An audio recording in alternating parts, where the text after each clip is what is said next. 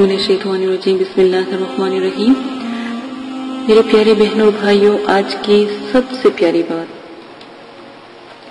سخاوت یہ ہے کہ اپنا مال خرچ کرو۔ سخاوت یہ ہے کہ اپنا مال خرچ کرو۔ دوسروں کے مال پر نظر نہ رکھو۔ حضرت علی رضی اللہ عنہ۔ رزق کی فراغی کا وظیفہ۔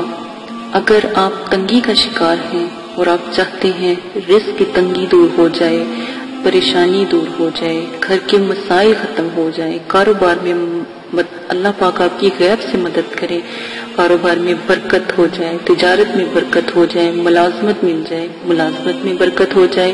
آپ کو ایک ایسا وظیفہ بتاؤں گی جس کے کرنے سے انشاءاللہ بے پناہ رزق کے دروازے کھل جائیں گے۔ یا حیو، یا قیوم، یا وہابو یا حیو یا قیوم یا وہاب یا حیو یا قیوم یا وہاب، روزانہ ہزار مرتبہ فجر یا عشاء کی نماز کے بعد ورد کر لیا کریں۔ آپ روزانہ یہ عمل کرتے رہیں۔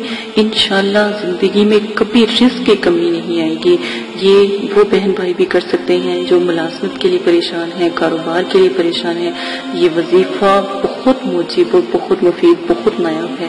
الحمدللہ اللہ پاک ضرور آپ کو کامیاب کریں گے۔ اجازت دیجیے گا، اپنا خیال رکھیے گا۔ اللہ حافظ۔